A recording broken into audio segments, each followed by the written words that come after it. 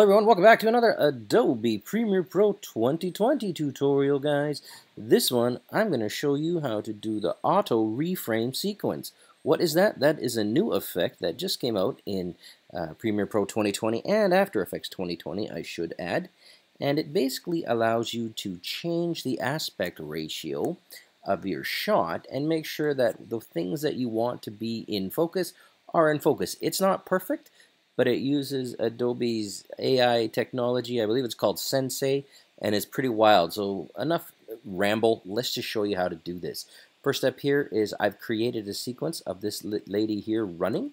You'll see here she's in the middle of the frame, and then she runs off to the right. I selected this footage deliberately because if you were to do like a square like this, or like a or an Instagram story that's 9 by 16, for example, she would be outside of it. And with auto reframe sequence, well, not so much. So let's just get right into this. The first step here is I've created the sequence, as you can see here, and I've already said that. The second step here is I'm just going to go up here and we'll go to sequence and then drop it down and you'll see auto reframe sequence. When you hit on that, it's going to give you some options and here's where it gets cool. Uh, you can rename it, which is not really that big a deal, but here you can select the different aspect ratio. Why is this important? Because, well, all these social media accounts, they use different aspect ratios, right? Like, uh, like Instagram likes squares, or they like, you know, squares, and, and YouTube likes 16 by 9, and Twitter likes 16 by 9, but 1280 by 720, blah, blah, blah. Vertical 916 for Instagram stories. Let's go vertical 916 because that is a complete flip of what we've got going on here. So we're going to select vertical 916 and then you're going to see it say analyze. Let's hit create and then it'll say analyze, pardon me. Bang, it's analyzing her and you'll see it already made a movement.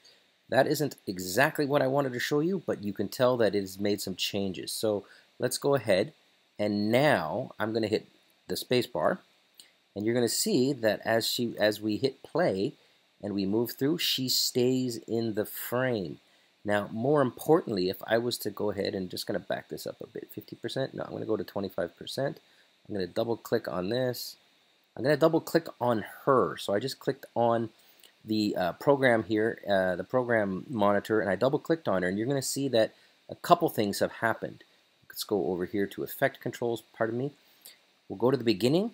Now, you'll see the box here. You'll see the square, the rectangle, pardon me. As she moves, and she runs, you'll see here that it is automatically reframing her.